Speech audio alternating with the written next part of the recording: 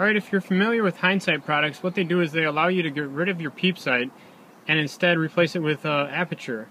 Um, the, th the thing that's great about that is you don't have that peep sight twisting and turning on you all the time.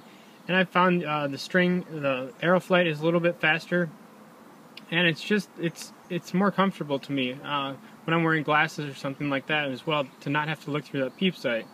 And uh, so a couple years ago, I started moving away from the peep sight, and I got into. Uh, let me show you the the original hindsight. Looks like this, and it basically you line this up with your your front pins.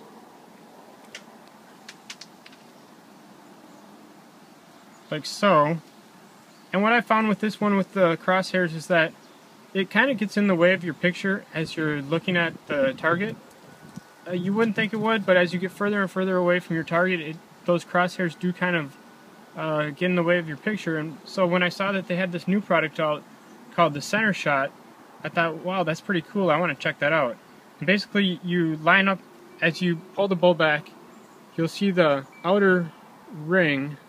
Well, maybe you won't be able to see it on here as it go farther away, but you'll see you'll you'll be able to see the glow ring on your front aperture surrounding the back black aperture, and this one just has two little uh, dots on it that allow you to you line those up on either side of your pin, and then uh, you can see your target.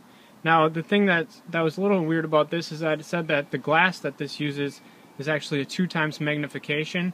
Well, that's not true at all. It's just a piece of glass with um, some fiber optic glow glow dots. And uh, but I I was actually a lot more accurate using this sight compared to the old crosshairs, and uh, I really like it. So that's just a quick review, and I think you should check it out.